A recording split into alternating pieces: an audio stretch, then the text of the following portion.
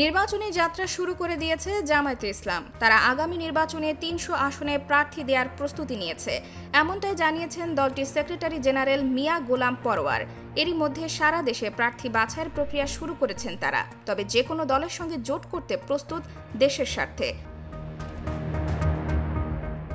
উনিশশো একানব্বই সালে পঞ্চম জাতীয় সংসদ নির্বাচনে দুশো বাইশটি আসনে এককভাবে প্রার্থী দেয় বাংলাদেশ জামায়াতে ইসলামী।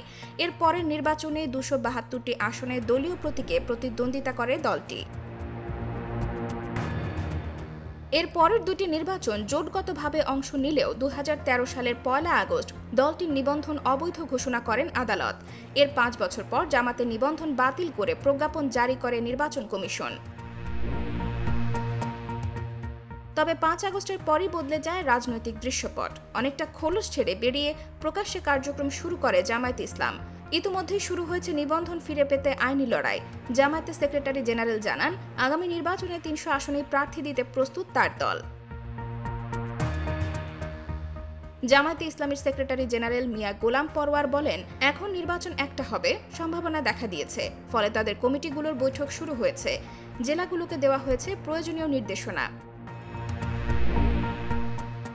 এরই মধ্যে জামায়াতের সঙ্গে আলোচনা চলছে অন্যান্য সমমনা ইসলামী দলগুলোরও।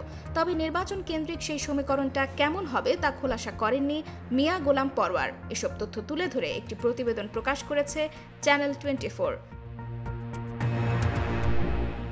IBTV USA New York.